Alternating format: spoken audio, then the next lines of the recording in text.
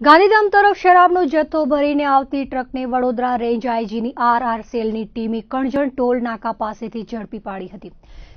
સાથે જ ત્રીસ લાખના શરાબ સહિત એક શખ્સને દબોચી લીધો હતો.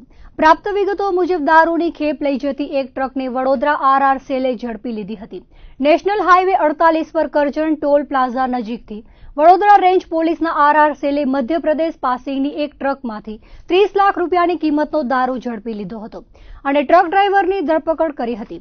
દારૂનો જથ્થો પોલીસ દ્વારા ન પકડાય તે માટે આરોપીઓએ લસણના કોથળાઓ નીચે છુપાવીને દારૂનો જથ્થો રાખવામાં આવ્યો હતો.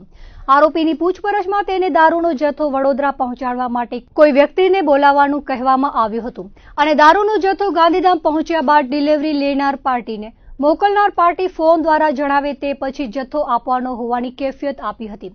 પકડાયેલા આરોપીની પૂછપરછ દરમિયાન ગાંધીધામના અનેક કુખ્યાત બુટલેગરોના નામો સપાટી પર આવી શકે તેવી શક્યતાઓ નકારી શકાય નહીં.